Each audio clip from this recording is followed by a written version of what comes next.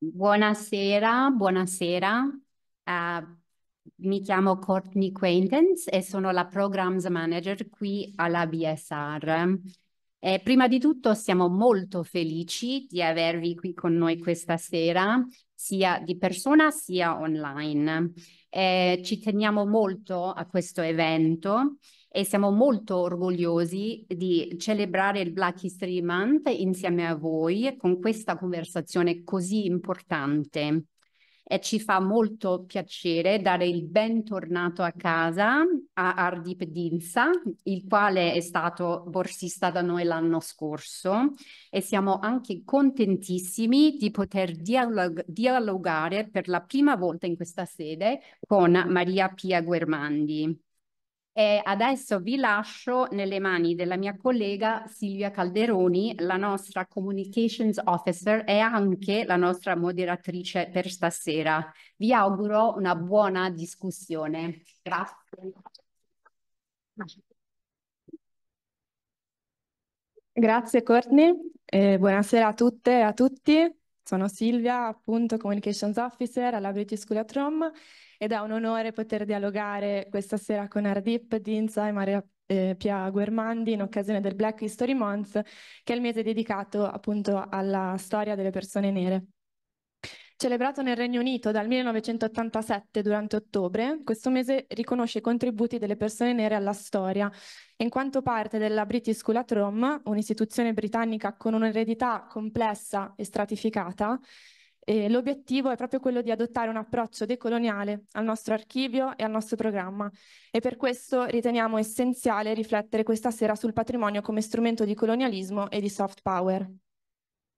Per questa ragione crediamo che un altro patrimonio è possibile, titolo che abbiamo dato a questa a questo incontro, come che appunto abbiamo preso dal libro di Marapia Guermandi, Decolonizzare il patrimonio, e siamo appunto molto contente di essere qui. Vorrei ora introdurre eh, Ardip e Maria Pia. Ardip Dinza è ricercatore di dottorato al King's College di Londra, specializzato nell'arte classica e nella sua ricezione, appena concluso una tesi di dottorato che esplora il rapporto tra etnonazionalismo e identità imperiale nel Grand Tour britannico del XVIII secolo e nel 2022 ha partecipato a un Lever Home Study Abroad Studentship qui alla British School at Rome, approfondendo le connessioni eh, tra l'antichità classica e l'impero britannico. Ardip è anche rappresentante post laurea della British Society for 18th Century Studies e ha recentemente collaborato con il Bishop State Institute per creare un tour a piedi sull'architettura imperiale in via distinzione nella, city, nella città di Londra, eh, oltre a un tour pubblico sulla, sulla razza e sul colore nell'arte europea con la National Gallery. Maria Pia Guermandi è archeologa classica e consulente scientifica per progetti europei sulle politiche culturali è membro del Consiglio di amministrazione della Pinacoteca Nazionale di Bologna e consulente per Rai Cultura. Dal 2020 è codirettrice della collana Antipatrimonio per Castelvecchi e membro dell'Associazione di Studi Critici sul Patrimonio con oltre 100 pubblicazioni all'attivo. Le sue ricerche si concentrano sulla decolonialità applicata al patrimonio culturale, sul rinnovamento della museologia in Italia e in Europa, docente presso l'Università Cattolica di Milano, tiene seminari e workshop in università, muse musei e istituti di cultura, Basta, va bene. E vorrei solo ringraziare la nostra archivista, che non è qui questa sera, ma che ringrazio molto, Alessandra Giovenco, per il supporto per il materiale d'archivio della BSR che mostreremo questa sera per la prima volta. E vorrei iniziare questo confronto a partire proprio da una citazione del libro Decolonizzare il patrimonio che abbiamo uh, inserito Uh, appunto la competizione fra potenze europee sul piano, sul piano, coloniale strettamente connessa in quegli stessi decenni alla costituzione delle identità nazionali vedrà la ricerca archeologica quale arena privilegiata nella conquista dei resti della civiltà greco-romana, considerati nella visione politica e intellettuale del tempo quale radice comune della civiltà occidentale. Quindi ci interessava un po' approfondire appunto ehm, questo questo concetto, diciamo, dell'archeologia come un'arena privilegiata e in che modo può essere considerata appunto insieme ad altre discipline come forma di uh, soft power. Eh, grazie Silvia e prima di tutto anch'io sono molto contenta di essere qui a mia volta eh, in questo posto molto importante anche per le, le cose che, che sto studiando per per molti versi e mh, di ritrovarmi in questa occasione per il Black History Month che insomma in Italia è ancora abbastanza una novità e quindi bravissimi per supportare questa, questa iniziativa. Eh, allora, l'archeologia. L'archeologia come strumento coloniale, come scritto nel libro, perché? Perché in realtà eh, così come eh, eh, è stata dal, dall'inizio dell'Ottocento, si può dire, eh, strumento del nation building, quindi al servizio della costituzione di quelle che Anderson chiamava le ehm, comunità immaginate, eh, ovvero sia le, le, le, comunità nazionali che, che cosa dovevano avere di, di radice comune? Eh, la stessa lingua, lo stesso territorio e uno stesso passato. Nella costruzione della storia del passato l'archeologia ha un grande ruolo, comincia ad avere un peso fondamentale che poi sarà lo stesso eh, in chiave col colonialista. Eh, sappiamo perfettamente che il colonialismo è la eh, espansione del nazionalismo oltre i confini ehm, eh, confini territoriali della nazione stessa. E la, la seconda fase del colonialismo moderno, cioè quella che parte sostanzialmente dall'Ottocento, è come pretesto ideologico, mentre dal, nel XVI secolo c'era il portiamo la salvezza e quindi eh, il potere religioso, portiamo la salvezza alle popolazioni selvagge, eh, adesso è diventato portiamo la civiltà. Quale civiltà? Eh, allora, dall'illuminismo in poi le, eh, le, nazioni europee si autocertificano come le eh, naturali eredi della, delle grandi civiltà, le great civilizations, che sono poi eh, l'Egitto, e già lì era cominciata la, la corsa dalla, dalla, dalla spedizione napoleonica in poi, e la civiltà greco-romana. Eh, perché eh, perché era funzionale alla costruzione di una storia. E come ci insegnate voi e come ci ha insegnato Orwell, eh, chi eh, controlla il passato controlla il futuro. Eh, e, e, l'archeologia serve a costruire il passato, un passato eh, ancora più potente perché è costruito co sull'immaginario di questi monumenti straordinari che sono quelli della, dell'archeologia classica che sarà recuperata in questa sorta di corsa all'oro che caratterizza dai primi decenni dell'Ottocento eh, le nazioni europee verso eh, quello che è definito ancora una fase di colonialismo informale perché eh, si attua soprattutto nei territori eh, del, del, dell'impero ottomano, eh, che non sono ancora colonie, quindi eh, con un controllo eh, politico diretto delle nazioni europee, ma dove però dal punto di vista della eh, ricerca archeologica e del controllo del sapere archeologico, le nazioni europee esercitano questo potere che continua inalterato nel tempo e suggestiona stesse, le stesse popolazioni locali. Eh, tant'è vero che eh, gli stessi eh, dignitari e studiosi dell'impero ottomano, quando a un certo punto, diciamo dal 1860 in poi, eh, cominceranno a contrapporsi alle eh, ricerche dei paesi europei, a cercare di contrastare anche queste, eh, questo furto eh, inarrestabile. E, ehm, che cosa succede? Che in realtà, eh, ad esempio, cominceranno a fare scavi sull'antichità classica, il famoso Osman Hamdi Bey, che è un po' il fondatore dell'archeologia ehm, per quanto riguarda l'impero ottomano, il fondatore di quello che sarà l'Imperial Museo, il Museo Imperiale eh, di Istanbul, dove va a scavare? Va a Sidone a scavare una necropoli ellenistica. Eh, anche il, il, passato da salvare è diventato quello.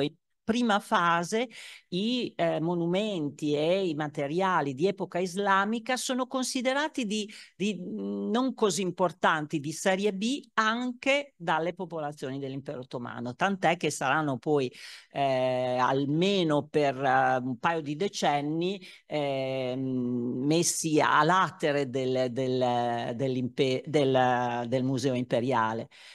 Eh, ecco, da questo punto di vista, questo ehm, potere di creazione di un passato e dei simboli legati al passato, eh, che poi funziona sia nei, paesi del colonialismo informale che tanto più ovviamente all'interno dei paesi europei, perché come ben sappiamo eh, con eh, i materiali delle dei grandi scavi in Anatolia, in Grecia, eh, vengono costruiti, costituiti i, i, grandi musei ottocenteschi consolidati, anche se erano stati fondati da prima, eh, i grandi musei eh, della, um, europei. Quando Karuman eh, riporta a Berlino eh, i resti dell'altare di Pergamo, viene accolto come un eroe, come un trionfatore, come un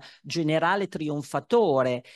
E nessuno ovviamente si pone il problema che insomma erano tutti materiali saccheggiati, ma ehm, perché è comunque una dimostrazione di potenza e come tale serve a consolidare quello che poi il nazionalismo sotto altre vesti come, come sarà il, il, il colonialismo. Eh, ecco, nella costruzione di, di, questa corsa all'oro archeologico eh, servono anche delle eh, infrastrutture logistiche e queste saranno le scuole archeologiche. Qua ci troviamo nell'erede di, di, di, di questo passato e le scuole archeologiche che sono però questo mh, uno strumento che si rivela così efficace come una sorta di eh, territorio extraterritoriale, insomma, di, di mh, eh, luogo extraterritoriale nei, nei, nei, vari paesi, che, che, dura fino ad oggi, eh, che ha una continuità fino al contemporaneo e, e, e poi magari vedremo continuità e discontinuità, insomma. Uh, Funziona? Ok. Um, grazie Maria Pia e anche um, Silvia. Um, penso che per iniziare a capire la relazione fra imperialismo europeo e, e civiltà è necessario definire patrimonio. Il concetto occidentale di patrimonio è quello di possesso. In inglese la parola inheritance e heritage indicano un trasferimento capitalista tra, um, di terra, di denaro e anche potere culturale, mentre in italiano la parola patrimonio evoca idee patriarcali um, di proprietà uh, di persone e di oggetti. Nella mia ricerca sull'impero britannico nel XVIII secolo, vediamo la storia classica appropriata per servire uh, le ideologie imperiali uh, britanniche, non quelle europee in generale. E vediamo la stessa cosa in Francia. Entrambi i paesi si sono appropriati della stessa lingua classica, ma è stata utilizzata per uh, scopi nazionali, non continentali. L'Inghilterra, per esempio, ha utilizzato i miti di Romulo, Bruto di Troia ed Enea per capire meglio la colonizzazione dell'America. Minerva ed Hermes sono diventati gli dei protettori um, del commercio e dell'espansione. I can candidi candidati all'Indian Civil Service hanno dovuto rispondere a domande come cosa può imparare la Gran Bretagna dalla caduta dell'impero romano. Quando furono scoperte le isole del Pacifico furono paragonate all'Arcadia perché la popolazione era aperta al commercio con gli europei, mentre alcune popolazioni um, caraibiche furono descritte come ciclopi selvaggi perché non volevano commerciare. Ma ci sono anche momenti in cui le comunità intellettuali di tutta Europea hanno lavorato insieme. Eh, nella prima metà del XVIII secolo, quando la presenza europea si stava espandendo in India, troviamo un nuovo apprezzamento di Alessandro Magno nelle storie inglesi um, e francesi. Prima era vista come un tiranno, ma ora divenne un uh, portatore di civiltà in Asia, l'antenato um, imperiale degli europei, eh, europei moderni. Uh, in generale l'archeologia e la storia nazionale hanno un ruolo importante nella costruzione della nazione perché forniscono una memoria di un passato comune e consentono la comunicazione fra um, gruppi diversi. L'idea di nazione è radicata in lotte eroiche e in un um, grande destino e le comunità nazionali devono essere inventate. L'archeologia fornisce quel senso di, um, di storia. Sfortun um, sfortunatamente il patrimonio culturale è sempre usato per definire l'identità occidentale perché in primo luogo l'idea um, di Grecia e di Roma è stata parte della storia della um, white race o razza bianca, giusto? Possiamo dire? Ok. Um, sì. dalla fine del XVIII, XVIII secolo. Eh, in secondo luogo, l'Occidente è stato in grado di controllare il racconto della civiltà umana attraverso le sue istitutu istituzioni culturali come i musei, come um, gli archivi. Grazie. Sì, eh, oggi appunto stavamo dibattendo, cioè dibattendo, stavamo insomma capendo come tradurre race in italiano perché non è così scontato eh, e quindi come lo traduci, metti un asterisco e spieghi che in italiano ha un significato un po' particolare, però lo utilizziamo insomma in questo senso. E la seconda domanda che appunto volevo farvi era proprio su come è stato, eh, come viene utilizzato diciamo, il patrimonio eh, in maniera coloniale proprio per costruire un'idea di europeicità, quindi Europeness nel senso proprio di eh, diciamo qualcosa che possiamo anche eh, di cui possiamo avere esperienza anche adesso, si è parlato molto eh, del ruolo dell'UNESCO in questo senso e quindi se potevate dare un approfondimento su questo. Sì, beh, mm, l'uso che del patrimonio ha fatto ehm, cioè, è evidente mm, che sia io che Ardip penso eh, ovviamente interpretiamo patrimonio culturale e eh, archeologia stessa non tanto come discipline scientifiche ma come pratiche sociali pratiche attraverso le quali si esprimono eh, le, le, volontà, le ambizioni, gli auspici, l'ideologia anche contemporanea di una, di una popolazione e quindi come pratiche politiche nel, nel pieno senso del, eh, del termine. E così sono adoperate anche per costruire questa strana cosa, questo ircocervo che, che è l'Europa eh, che nasce sul, in una linea di continuità purtroppo per certi versi rispetto al nation building, cioè anche qui il patrimonio viene usato in senso eh, esclusivo ed escludente, quando ad esempio eh, nel eh, 2011 si ci si inventa, perché è già un momento di crisi del, del progetto europeo, eh, adesso è ancora peggio, ma insomma ehm, eh, ci si inventa lo European Heritage Label, cioè questo, il, il marchio eh, che scimmiottava per certi versi il World Heritage List in versione europea, cioè c'è il problema di creare, proprio c'è un problema di coesione interna fra i vari paesi che non è mai detto e eh, una, uno degli strumenti a cui si pensa è appunto il patrimonio culturale. Eh, creiamo il patrimonio culturale europeo quindi possa essere sovranazionale che, che, che unisca questi, ehm, le, le, varie nazioni all'interno. Um, conosco bene la vicenda perché ho partecipato a parecchi ehm, progetti europei l'obiettivo era proprio quello di, di trovare questa araba fenice del, del patrimonio eh, culturale. E uno degli strumenti è la creazione di un elenco, di eh, una designazione di siti, luoghi che identifichino le caratteristiche della europeicità del patrimonio. E, e, e qui c'è un po' di tutto, l'Acropoli di Atene perché è il simbolo della democrazia, ehm, è un sito croato legato alla, alla fase Neanderthal, eh, la casa di De Gasperi, di Schumann, i luoghi, luoghi anche in negativo, come quelli legati alla Shoah, eh, Sant'Anna di Stazema, alle stragi nazifasciste o al, al carceri eh, staliniste, ehm, nessuno collegato a luoghi di religioni diverse da quella cristiana eh, o ebraica, nessuno legato al colonialismo.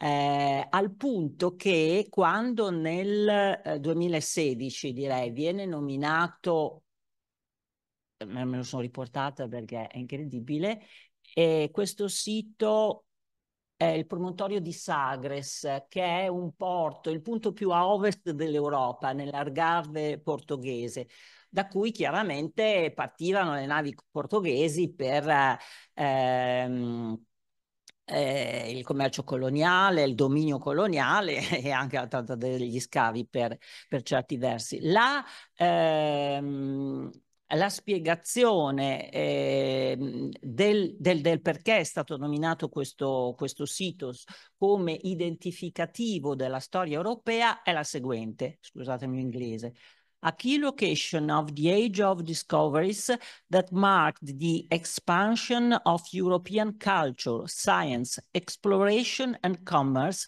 both towards the Atlantic and the Mediterranean, setting European civilization on its path to the global projection that came to define the modern world. Quindi, come dire, è il posto dove il massimo della civil civiltà europea eh, ehm, trova il suo sbocco in dimensione mondiale. Nessun accenno alla fase coloniale.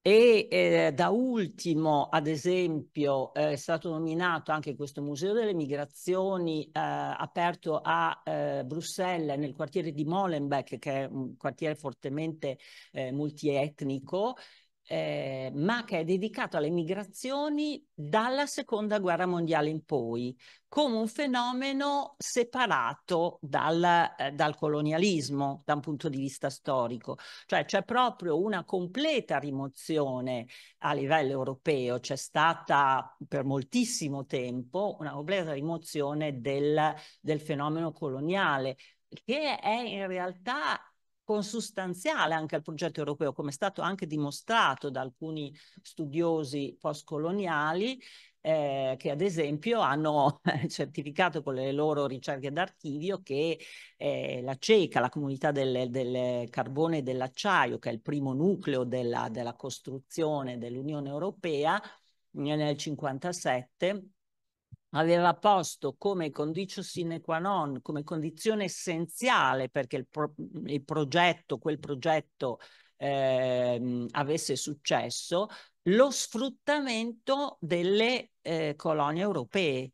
E quando d'altro canto i, i, i, paesi fondatori dell'Europa eh, nella seconda metà degli anni 50 cominciano a parlare del progetto europeo sono tutti ancora, compresa l'Italia che aveva eh, ancora l'amministrazione della Somalia, sono tutti paesi coloniali. Eh, e, e, questo ruolo però viene oscurato eh, ed è oscurato, ahimè, in gran parte ancora, ancora adesso. Um, grazie Silvia per aver um, messo le mie stampe um, sullo schermo. Fin dall'antichità c'è stato un concetto di noi contro loro um, che parliamo sul Grecia e Persia o uh, Roma e Cartagine, ma queste non erano necessariamente identità razziali, eh, razziali scusami. Si sostiene generalmente che il concetto moderno di europeità um, cresciuto dalla fine del XV secolo, chiamato uh, The Age of Discovery um, in inglese, che ha coinciso con un rinnovato apprezzamento per l'arte classica.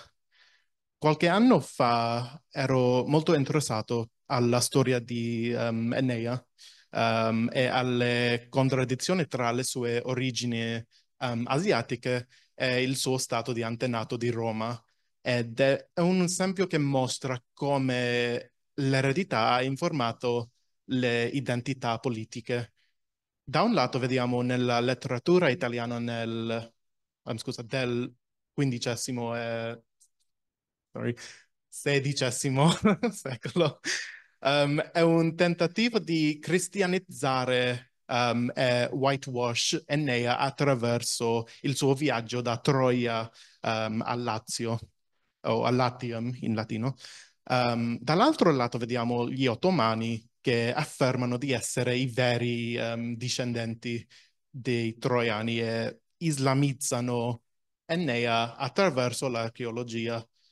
Quindi l'eredità è sempre stata un metodo per definire se stessi rispetto da un altro. Penso che sarebbe utile discutere anche della mia arte um, sullo schermo perché ci sono delle immagini qua. Um, eh, riguardano la bianchezza europea o um, European whiteness. Da un lato interrogo la veridicità delle sculture classiche britanniche, bianche, scusa, usando colori non realistici. Entrambe sono molto sbagliate nella loro veridicità, uh, ma una è vista come normale e una vista come um, anormale, perché il bianco è considerato uh, normale. D'altro conto considero molto la bianchezza come un vuoto, Um, possiamo... Mm. Sì, grazie. Um, dal, d'altro conto, canto, scusa, considero molto la bianchezza come un vuoto. Quando i collezionisti britannici collocarono marmi romani nelle loro case costruite usando la ricchezza coloniale, ricontestualizzarono le sculture per parlare del loro potere globale. Um, invocando gli imperi di Roma e Grecia. In questo senso le sculture servono come um, specchi bianchi um, o white mirrors, perché non, sol- non, sono definite dalla loro antichità, ma dal loro um, soggiagamento alla proprietà britannica. Grazie. Sì, le immagini eh, che vedete sono state, diciamo, eh, mescolate, sono state fornite sia da Maria Pia che appunto dall'archivio della BSR che da Ardip, che oltre ad essere ricercatore è anche artista, quindi grazie. Ehm, la mh, prossima domanda riguarda l'Italia nello specifico e come viene descritta appunto nel libro, ma in generale mi interessava molto questa riflessione sull'Italia che è allo stesso tempo paese colonizzato e colonizzatore. E eh, volevo dire due cose anche su questa immagine che appunto sono state prese dall'archivio della BSR che eh, sono datate ehm, appunto lo stesso, lo stesso anno e, eh, nel, nel, dopoguerra, durante il protettorato britannico, si parla di scavi in Libia che sono stati, diciamo, lasciati ehm, un po' non, insomma, taken care of, adesso anch'io faccio, eh, insomma, curati, esatto, e, e, quindi ci sono due, diciamo, articoli diversi, uno di stampa britannica, uno di stampa italiana, che descrivono in, con toni molto diversi loro, eh, la, la, loro azione protettiva nei confronti di questi scavi. Quindi è interessante appunto vedere i toni diversi comunque di eh, supremazia rispetto a questi scavi. Quindi sì, se, eh, potevamo insomma eh, riflettere su questo insieme. Vado io, vado sempre io. sì. No, no, no, no, tranquillo. Eh, poi mi tocca purtroppo, eh, sono argomenti dolorosi, nel senso che non ci facciamo una gran figura. Comunque, eh, sì, paese colonizzato, colonizzatore, eh, nel libro parlo proprio dall'Ottocento perché eh, appunto l, parlavo prima di questa ehm, di questo possesso della, dell'antichità classica da parte dei, e dei suoi resti materiali, soprattutto perché eh, c'è bisogno di immagini, eh, di, di, simboli, di icone eh, con cui sostanziare questa costruzione eh, a posteriori del, del, del passato e i resti archeologici funzionano benissimo, tanto più quelli monumentali romani e greci. Eh, poi eh, Ardip, che è uno studioso de, del Grand Tour, ne parlerà molto meglio di quello che possa fare io, ma diciamo in una continuità rispetto al Grand Tour, eh, l'Italia almeno fino all'unità, quindi stiamo parlando 61-70, perché poi eh, la, la, la, la, della capitale nel 1870, quindi molto avanti nel, nel secolo, è, è, come la Grecia, cioè è, è terra di conquista del, ehm, eh, per quanto riguarda il patrimonio archeologico. E non tanto e non solo dal punto di vista degli scavi, non è tanto che vengano, non so come in Grecia, i grandi scavi ad Elfi, ad Olimpia, eh, delle, eh, dei paesi stranieri, ma in più c'era, era un po' l'Eldorado l'Italia perché c'erano queste grandiose collezioni eh, archeologiche delle grandi famiglie aristocratiche o anche molto recenti, penso alla collezione Campana, che poi vengono dismesse e lì ci costruiscono eh, parte del Louvre, dell'Ermitage, cioè è, sono materiali ricchissimi eh, e quindi da questo punto di vista è eh, un paese colonizzato. Poi diventiamo uno Stato nazionale, ci dotiamo bene o male di, un, ehm, di qualche legge protezionistica, ehm, ma soprattutto vogliamo ehm, entrare a far parte del consesso delle nazioni che contano e uno dei meccanismi è diventare a nostra volta ehm, costruttori del passato, archeologi fuori d'Italia eh, e colonizzatori.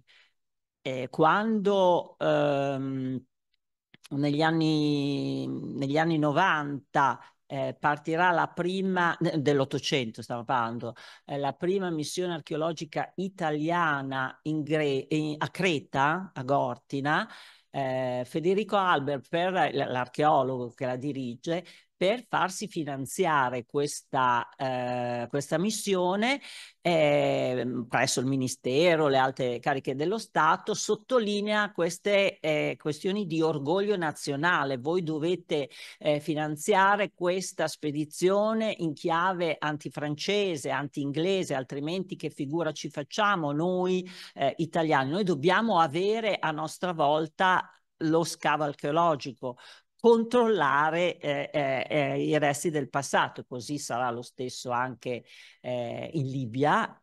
Addirittura la missione, sempre di Federico Albert, in eh, Cirenaica, eh, archeologica, precederà di qualche mese la prima guerra di invasione coloniale italiana in Libia, che è quella del del 1911-1912 siamo ancora in una fase, eh, l'Italia giolittiana, insomma, eh, però pienamente colonizzatori, così succederà al tavolo del, della conferenza di Berlino, quando eh, l'Italia premerà per sedersi accanto alle altre nazioni come eh, acquisizione di un livello di pari dignità avere le colonie significa anche eh, ambire a eh, far parte del consesso delle nazioni che contano. E ahimè eh, questo meccanismo dura anche dopo la seconda guerra mondiale, come abbiamo visto eh, dai, dalle date dei documenti che ha trovato e davvero grazie anche all'archivista perché ci sono alcune chicche notevoli, poi non so se avremo modo di eh, commentare anche la lettera di Bianchi Bandinelli. Eh, c'è una continuità purtroppo perfetta eh, dal punto di vista della ricerca archeologica, ma anche dell'atteggiamento verso le colonie, l'abbiamo già detto prima, no?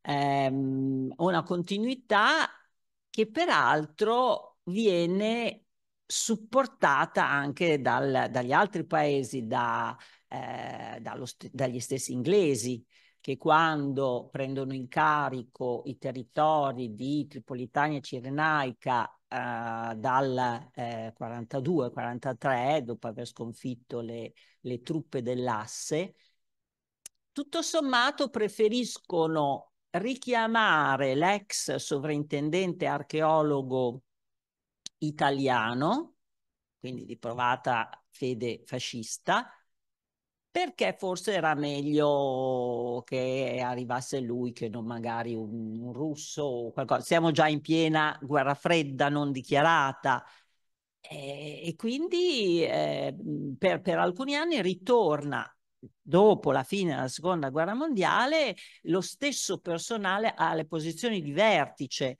eh, per quanto riguarda la cura dei, eh, degli scavi archeologici eh, in Libia, lo stesso personale fascista che c'era stato fino alla, a pochi mesi prima, nonostante il giudizio dal punto di vista scientifico degli archeologi inglesi, che era poi eh, militari, ma di fatto archeologi, fosse piuttosto negativo perché, ed era vero, si trattava di scavi fortemente propagandistici che avevano mirato a eh, costruire il grande monumento, anche eh, procedendo a restauri affrettati e quant'altro, però in quel momento erano funzionali a ribadire il fatto che eh, queste discipline, il patrimonio e l'archeologia, sono strumenti contemporanei e politici.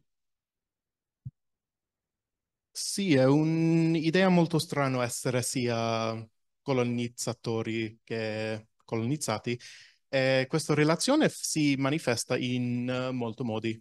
Naturalmente c'è il lato storico, um, in cui parti d'Italia erano sotto il dominio spagnolo, e c'è anche un lato epistemologico riguardo al finanziamento dell'archeologia, um, come ha discusso Maria Pia. Nella mia esperienza personale come ricercatore uh, nel campo degli studi di classici, um, in, ingle in, inglese diciamo classics, um, ho visto la sfortunata primitivizzazione di studiosi italiani e anche greci da parte di studiosi um, anglofoni. C'è una um, supposizione che il passato dell'Italia e Grecia è, faccia parte di una storia occidentale universale e quindi appartenga a tutti. Questo appare, questo appare anche linguisticamente. Uh, non affermo che il mio italiano è perfetto, ma mi assicuro che quando faccio ricerche sull'imperialismo culturale nell'Italia nel XVIII secolo, incorporo il più possibile fonti italiane.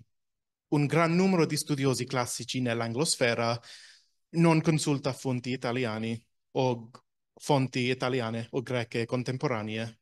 C'è una uh, gerarchia negli studi classici che privilegia studiosi inglesi, francesi um, e tedeschi prevedibilmente questi paesi abbiamo avuto imperi che si sono appropriati della storia classica nella loro ricerca del dominio globale.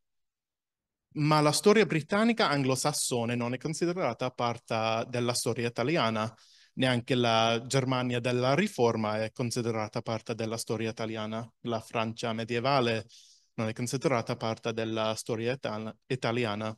Questa storia occidentale universale non è in realtà universale, è un dialogo unidirezionale in cui l'Europa settentrionale e occidentale possono rivendicare la prossimità al passato alle spese dell'Italia um, e della Grecia. Grazie.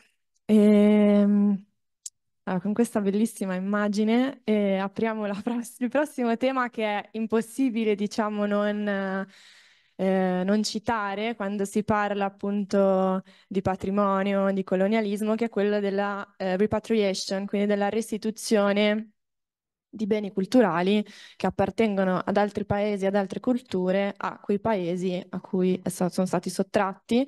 Eh, in questo caso a, eh, appunto l'immagine che è stata fornita eh, da Maria Pia eh, riguarda il ritorno della Venere di Cirene in Libia nel 2008, quando ehm, vabbè, insomma, non importa, insomma, eh, sappiamo più o meno che cosa è successo. In ogni caso, eh, la, la, domanda è appunto come, come eh, insomma, cosa ne, ne, ne, pensate, diciamo, sia di questa vicenda, ma poi in generale del concetto di restituzione. Eh, si parla poi di dissonant heritage, quindi eh, beni culturali dissonanti, che comunque la parola in italiano è molto eh, evocativa. Eh, e, secondo me, e ehm, le argomentazioni che vedono di solito dei rifiuti da parte delle istituzioni europee di restituire il patrimonio sono appunto varie.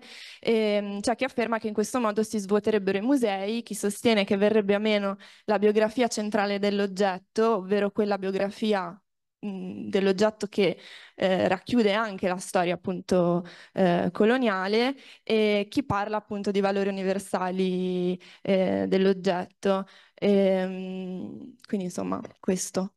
Magari passiamo da Edward giustamente. Eh, grazie Silvia. Um, il rimpatrio è un argomento difficile da discutere perché è molto difficile da definire a livello più ampio. A volte non conosciamo la provenienza di un oggetto, a, vol a volte i confini moderni delle nazioni um, causano dibattiti sulle origini dell'oggetto e a volte il viaggio di un oggetto è molto complesso, quindi um, non possiamo identificare un proprietario um, originale. Nel libro di Maria Pia ci sono sezioni fantastiche um, sul ruolo eurocentrico che l'UNESCO ha svolto nella conservazione nel, e nel rimpatrio um, di oggetti non europei, ma io non sono un esperto dal punto di vista legale, ma sono a favore del rimpatrio degli oggetti, ma voglio usare questo tempo per uh, criticare il rifiuto del rimpatrio se il rimpatrio viene rifiutato a favore della decolonizzazione del museo, dobbiamo anche parlare della natura um, problematica di questo risultato. Molti studiosi hanno messo in dubbio se un'istituzione nato um, dal discorso imperiale può essere decolonizzata. Il Museo Moderno, per la sua stessa origine, è un sito di potere coloniale e i tentativi di colonizzarlo normalmente si concentrano sulla senza di colpa di bianco, in inglese diciamo white guilt, oppure um, white fragility, um, o su nozioni eurocentriche di universalità. Come esempio, uno, uso la testa dell'isola di Pasqua al British Museum, um, the Easter Island Head, um, poiché è considerato un... Scusami, ogni anno un, una delegazione dell'isola viene a chiedere la restituzione eh, della statua, statua perché è considerata un antenato vivente. Mettono una ciotola di sabbia davanti alla statua in modo che può toccare la sua terra indigena. Ma il British Museum ha raccolto la sabbia e la mette dietro un vetro aggiungendo un altro elemento all'esposizione. Um, sì. Quindi i non europei hanno ragione a essere sospettosi di qualsiasi musei che si rifiuti di rimpatriare i propri oggetti. I musei, come gli accademici, non sono agenti di, di colonizzazione e dobbiamo capirli attraverso il concetto di disimparare l'imperialismo. In inglese, it's unlearning um, imperialism. Um, Azule, per esempio, scrive che disimparare significa riconoscere che ciò che è stato rubato dal movimento imperiale non può essere ridistribuito attraverso beneficenza o aiuti umanitari. Significa rifiutare il museo come, um, come segno di progresso e la um, conservazione degli oggetti come un atto di cura. Ma se il rimpatrio dovesse avvenire, le ex potenze coloniali non dovrebbero avere il vantaggio di essere visto come um, generose. Eh, le ex popolazioni coloniali non dovrebbe, dovrebbero dover dimostrare la loro, la loro gratitudine.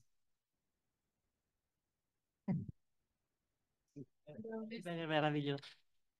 Eh, ehm, allora, sì, il, il discorso della repatriation, mm, ne abbiamo parlato anche ieri a questa eh, iniziativa che c'era la società geografica sulla decolonizzazione dei musei e della geografia e, e lì di nuovo ehm, mi sono sentita ri, ri, ehm, eh, ricitare questa storia della biografia degli oggetti allora, innanzitutto l'opposizione alla, eh, ai meccanismi di restituzione, di repatriation, eh, ha, e, e, questo già ne identifica, è un, una spia del, della cattiva coscienza europea, ha cambiato giustificazione nel tempo quelle 10, 15, 20 volte. Siamo partiti da non vi restituiamo niente perché è tutto legale,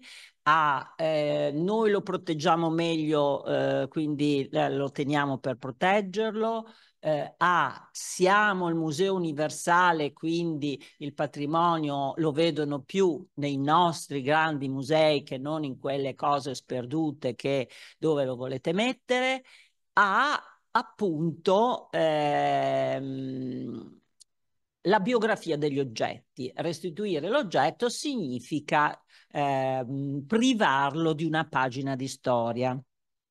Allora, con, per, per, carità, salvando il so, uh, social life of uh, things di Appadurai che ha detto delle cose intelligentissime, però io non l'ho mai capita fino in fondo questa storia, nel senso che o noi riteniamo che eh, la presenza dell'oggetto coloniale nella vetrina del Museo Europeo sia la fine della storia, cioè la fine della biografia, come la fine della storia di Fukuyama, ma lì avevamo già dato e, ed era stato, come dire, fortemente smentito eh, da quello che è successo.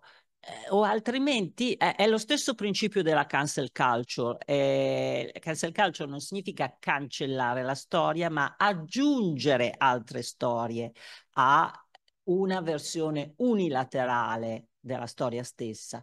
E così il ritorno eventuale di questi oggetti nei, eh, a, a, ai loro paesi, alle comunità di a, appartenenza è semplicemente una pagina aggiuntiva della biografia che non cancella necessariamente, anzi io mi augurerei che nei nuovi musei fosse raccontata questa storia, come è spesso eh, successo, di eh, saccheggio eh, e di furto.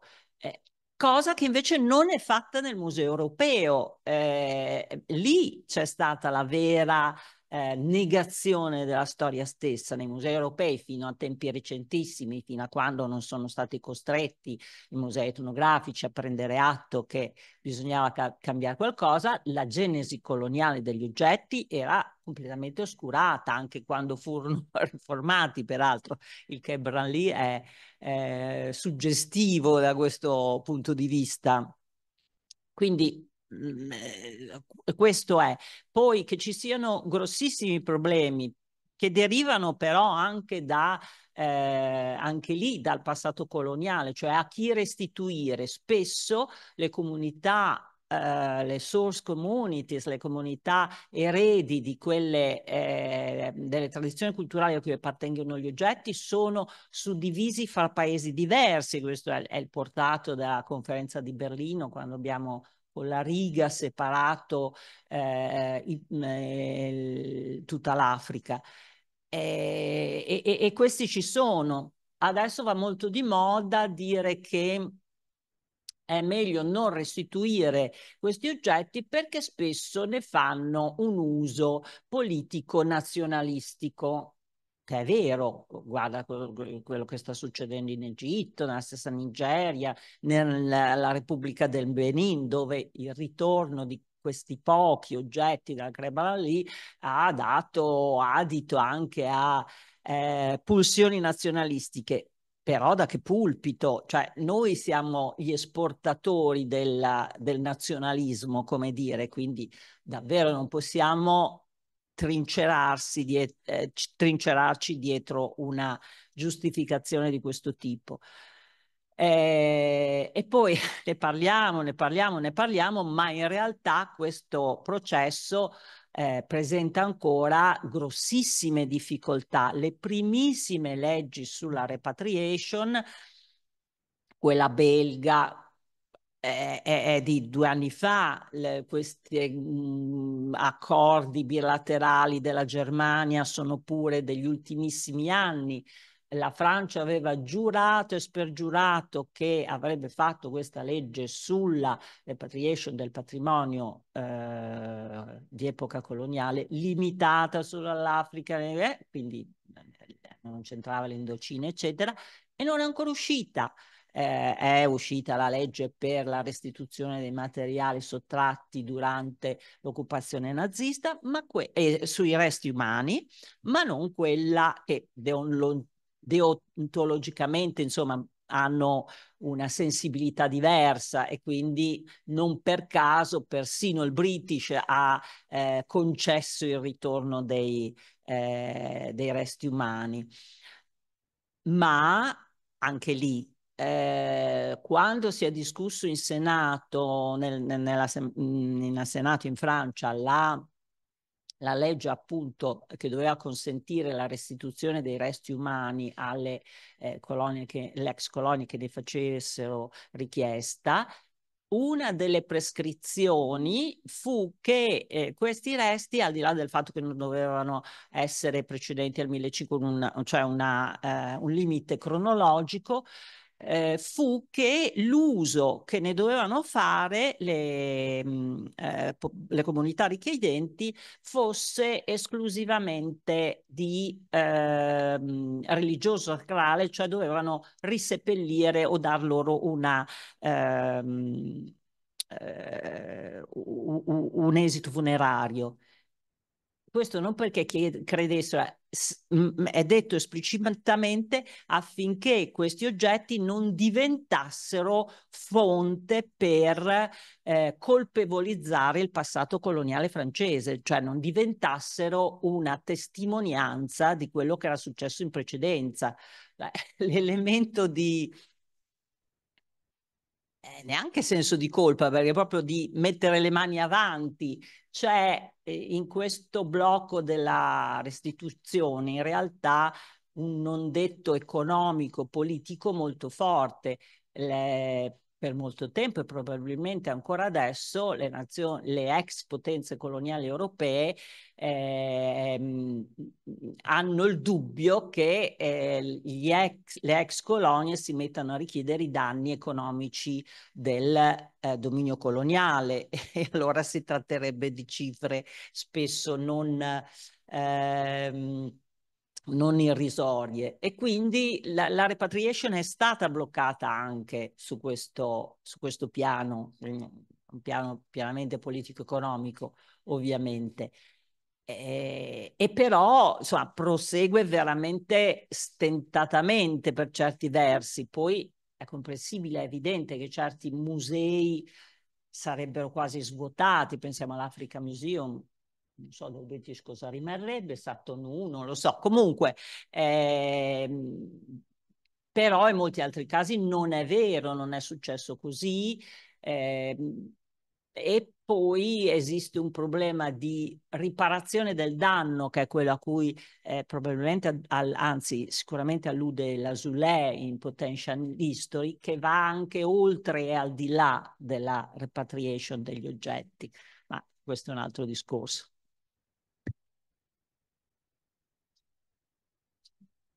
Allora, eh, da parte mia l'ultima domanda. Eh, eh, c'è un tema che unisce le vostre ricerche, che è un po', diciamo, in modo allargato quello del turismo, comunque legato al Grand Tour, ehm, eh, di, di, come eh, venga, di come può essere considerata una forma di neocolonialismo e quindi se potevate, insomma, viene descritto molto sia nel libro che nella ricerca di, di Ardip proprio questa, questa, caratteristica contemporanea che però eh, pare avere radici più lontane e cultural washing legato appunto a questo tema.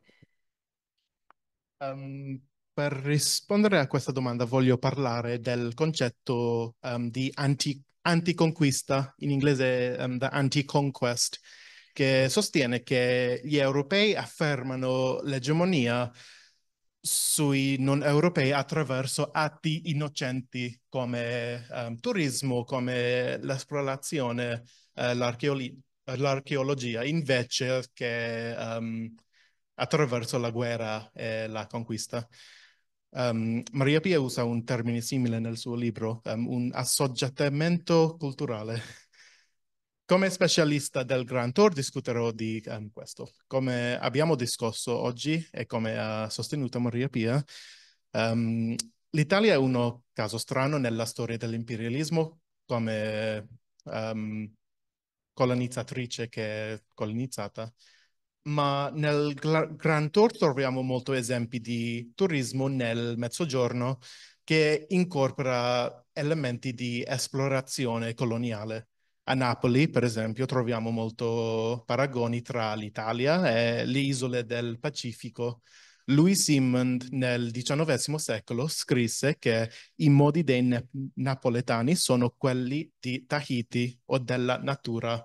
In inglese, the, the manners of the Neapolitans are like the Tahitians, or rather of a primitive nature. Hester Piozzi descrisse anche i Lazzaroni a Napoli come indiani tatuati. Um, in, in inglese, the Lazzaroni, um, the Neapolitan working class, seemed to me like tattooed Indians.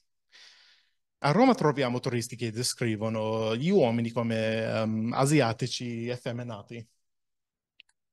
L'anno scorso è stato pubblicato un libro di Paola Bertucci um, sulla um, meraviglia uh, in Sicilia durante il Grand Tour e ha mostrato come i turisti hanno um, affrontato la regione come una, una curiosità geografica. Il turismo in Sicilia è davvero interessante in questo periodo perché era una colonia della Spagna, quindi era davvero un, una curiosità gli arabi avevano iniziato a coltivare zucchero um, sull'isola e gli spagnoli hanno introdotto colture um, americane. La Sicilia era ed è ancora vista come una porta verso l'Africa, um, quindi il clima era anche capi um, capito attraverso una lente coloniale. Quindi se parliamo di turismo coloniale o neocoloniale, stiamo parlando di un'industria che sfrutta la manodopera locale a beneficio degli europei, soprattutto quando l'oggetto del fascino è qualcosa di naturale, la popolazione è nascosta e la caratteristica um, intatta del sito è mantenuta a forza. Dobbiamo anche comprendere la relazione tra l'ospite indesirato e l'ospite locale, dove l'industria dell'ospitalità in questi de paesi dipende dal potere finanziario um, occidentale.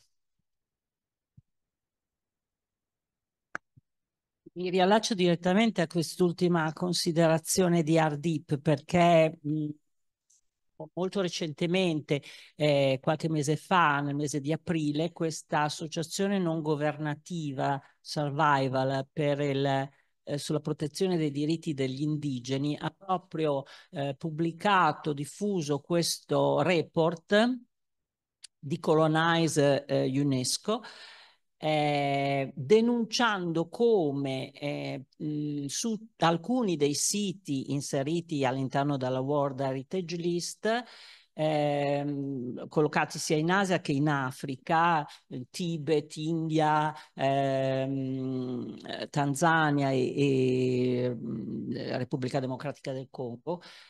Eh, in realtà l'UNESCO non solo continuasse eh, politiche ma incentivasse politiche lesive dei diritti degli, indigeni. Ad esempio c'è questo parco naturale in Gorongoro eh, in Tanzania che è sempre stato un territorio abitato dai Masai e che però nel momento in cui è diventato eh, parte del, del World Heritage List è stato bonificato dalle, eh, dalla presenza dei Masai che sono stati eh, allontanati, peccato che quello fosse il territorio da cui traevano il sostentamento, caccia di piccoli animali, eh, raccolta di... di, di eh, eh, e, quindi questi non sanno come sopravvivere, ma ancora recentemente UNESCO continua a richiedere eh, la esclusione di, ehm, eh,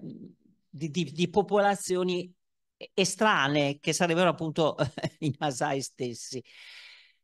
Eh, ahimè, eh, era stato questo, questa forma di, di neocolonialismo bello e buono, insomma, era stato denunciato già da anni perché era eser esercitato eh, ormai da decenni dall'UNESCO anche sui grandi siti archeologici eh, asiatici, eh, Angkor Wat, Ampi, ehm, perché non solo vengono, e che è la cosa più grave, intendiamoci, eh, che è così a, a, anche in quei casi, e cioè vengono allontanate le popolazioni locali perché appunto sia nel caso di, di, questo ultimo che riferivo, dei parchi naturali, ma anche dei, eh, di questi siti archeologici, eh, sono ostative di un tipo di turismo eh, che è sostanzialmente eh, euro occidentale, che si deve svolgere secondo i canoni occidentali, cioè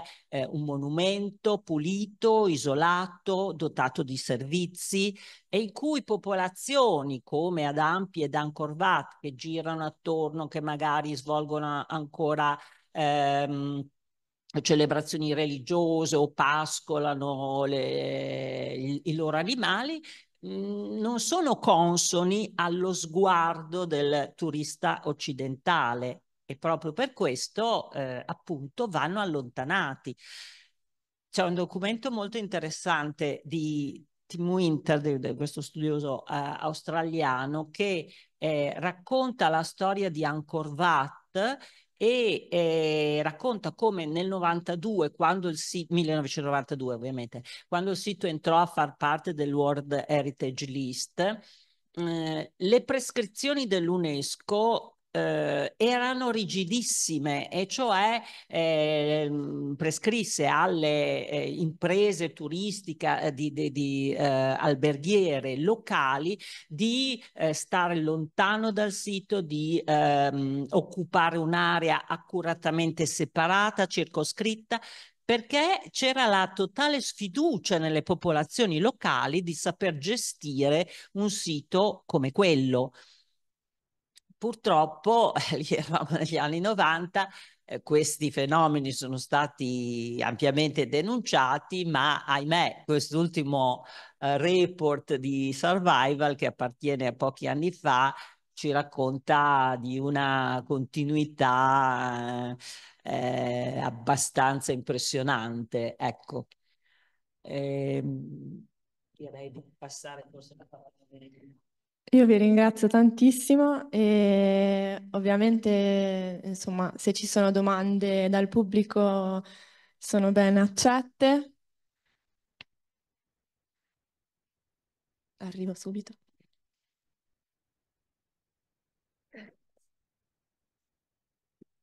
Grazie. Eh, Vabbè, grazie alla British School per aver organizzato questa bellissima iniziativa. Eh, complimenti a entrambi, a Ardi e alla professoressa eh, Maria Pia. Eh, avevo una domanda per la professoressa, ma anche Ardi può naturalmente contribuire. Maria Pia, ok. Io sono Giambattista. Ardi, io sono Maria. Ok. Um, si nota subito la mia impostazione accademica italiana in questa... Allora, la domanda è questa.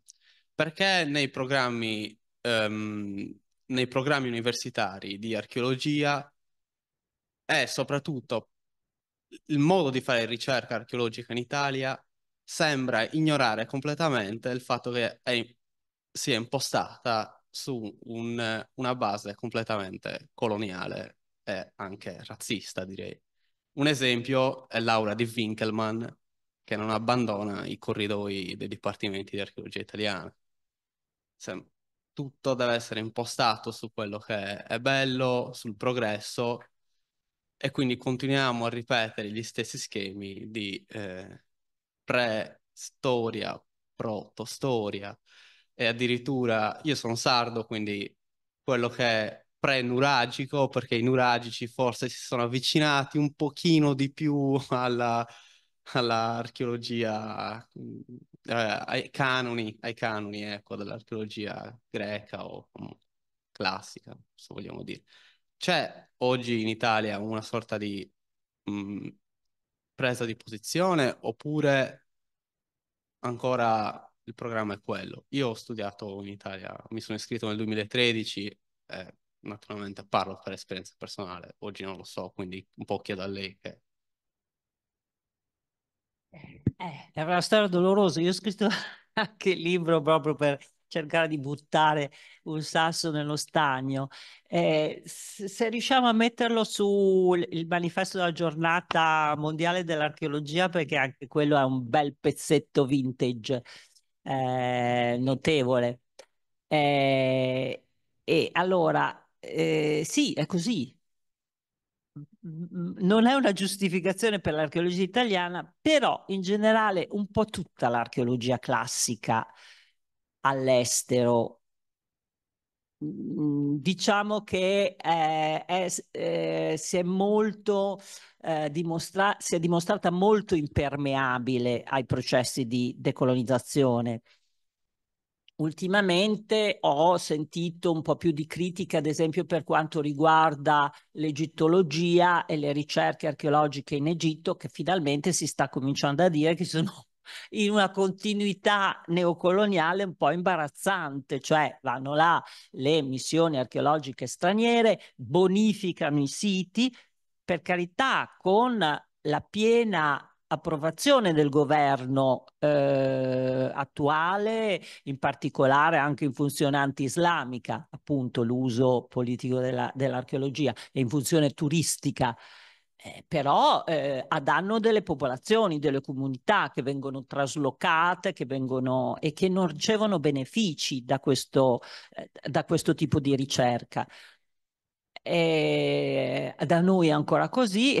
Io avevo mandato questo eh, straordinario documento che poteva anche essere eh, come data 1923 che era uguale eh, e che invece risale all'anno scorso. E cioè questi si sono inventati eh, la prima giornata dell'archeologia italiana all'estero con tanto di mappa coloniale per far vedere quanto siamo espansi cioè quante eh, belle mh, indagini facciamo in tutto il mondo eh, manifestazione che vedeva eh, chiamati a consesso tutti i direttori italiani delle missioni eh, archeologiche italiane all'estero e presieduta dal ministro degli esteri e dal ministro della cultura, cioè mh, al massimo livello a celebrare eh, i fasti dell'archeologia italiana che porta eh, il suo sapere nel mondo questo veniva detto. Poi andatevi a vedere i video e, e mi direte se esagero. Attenzione, queste mappe le trovate anche moltiplicate, ad esempio anche sul sito del DAI, per non far nomi. Eh, cioè, questa continuità eh, de della ricerca europea all'estero in archeologia esiste. Eh, lo stesso Dai è considerato dal ministro degli esteri tedesco il maggiore ambasciatore, uno dei mh, mm, eh, più efficaci ambasciatori della Germania all'estero. Il soft power continua. Queste missioni sono finanziate abbondantemente dai ministeri degli esteri, sono una forma di penetrazione così come è stato in epoca coloniale e quindi sono funzionali. Purtroppo per quanto riguarda l'archeologia classica in Italia subiamo un arretramento, cioè mentre questo congelamento dal punto di vista proprio epistemologico, una totale mancanza di riflessione su, su questo fenomeno, eh, caratterizza soprattutto l'archeologia classica all all'estero e poi con molti distinguo, ma insomma qui il discorso sarebbe lungo. Per quanto riguarda l'Italia è eh, questo meccanismo, cioè poi il colonialismo interno, come giustamente accennavi tu, no? È che mh, ci sono certe epoche in certi posti che valgono un po' meno. È un percorso da noi gli heritage studies, diciamo che hanno subito un po' di eh, rallentamenti. Eh, si comincia, cominciano ad essere diffuse le pratiche di community archaeology che vanno in questa direzione. Community archaeology sarebbe l'archeologia per le comunità. Eh, però, ad esempio, eh, no, io sono un, una malpensante e ho, ho visto adesso sulla mm, pubblicità di una università statale italiana eh, in cui si pubblicizza questo corso didattico sulla eh, public community, arche community archaeology e digital archaeology, come se fossero la stessa cosa, cioè la digital archaeology che è posta sullo stesso piano delle altre due. E se voi andate a leggere le skills che, che questi insegnerebbero per... Um, per fare community archaeology, beh, qualche sospetto viene. Allora, eh, il riferimento è l'industria turistica, la mediazione del conflitto eventuale, cioè mm, devono essere dei bravi diplomatici, insomma, quelli che fanno community archaeology, perché spesso la ricerca archeologica può portare conflitto eh, e bisogna mediare. Invece il conflitto a volte va gestito, a volte non, non, non si risolve, insomma. Purtroppo siamo, abbiamo ancora un po' di strada da fare, ma ce la faremo. Buonasera, grazie per questo interessantissimo incontro. Eh, volevo chiedere al dottor Ardip Dinsa eh, se, può, se esiste, se può darci un esempio positivo di decolonizzazione nei musei britannici. Ci ha portato l'esempio del, um, dell'isola di, della statua dell'isola di Pasqua e della ciotola che era stata spostata e volevo sapere se esiste invece un modo di esporre le cose bene ancora più lodevole che sia stato fatto comunque. Ad esempio, io non mi sono offerta, cioè sono stata chiamata, quindi un, un segno di ottimismo c'è. Poi, se vuoi rispondere, poi io aggiungo non c'è nessun altro.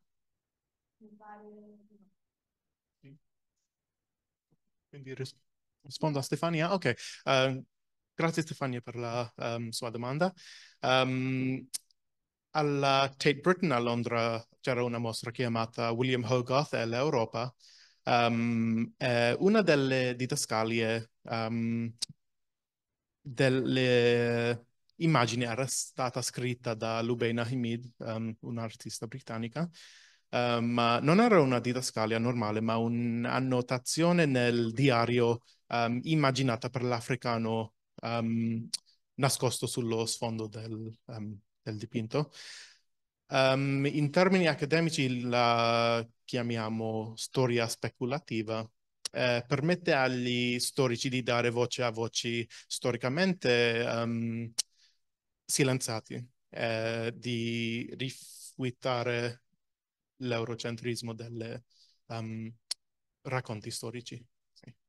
Um, e Marta, grazie per, uh, per quella, non, è un, non era una domanda, ma commento, sì. Um, grazie per uh, permettermi di um, mostrare le mie stampe. Um, mi sentivo molto a disagio qui, avevo um, l'architetto della BSR, Edwin Lutyens, aveva opinioni razzisti sugli indiani. Eh, se fosse vivo non sarai benvenuto qui. Um, ma ho anche avuto la possibilità di combat combattere la sua eredità um, e usare il suo stesso edificio contro di lui.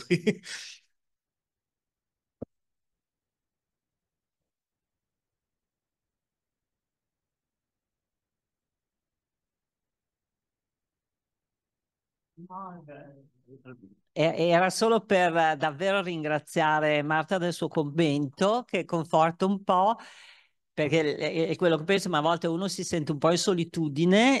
Io ho interrotto amicizie dopo aver scritto il mio libro, ahimè. Ehm, no, non, non, per parte mia, ma da chi si è sentito eh, toccato, anche se insomma ho cercato di evitare eh, nomi eh, personali, insomma di metterla sul personale, perché è di fatto un fenomeno culturale e che è durissimo a morire, quando prima parlavamo di, di, di questa Europa che ancora non accetta eh, questi, questi meccanismi. Eh, però il fatto che siamo qui è, è davvero, davvero incoraggiante e, e, che Ardip appunto riesca a fare quello e, e trovi uno spazio in, in, questo, eh, in questo posto significa che qualcosa cambia ormai in Inghilterra più che da noi perché al di là dei musei statali eh, però ci sono, io ricordo tante eh, mostre Birmingham, Manchester, veramente mh, mm, mm, abbastanza radicali nell'impostazione decoloniale. Eh, tutte le istituzioni non statali stanno restituendo, ad esempio, eh, i pezzi sottratti in epoca coloniale, da partire dai bronzi del Benin. Quindi il movimento c'è eh, e speriamo che sia sempre più diffuso, ma dipende soprattutto da voi. Grazie.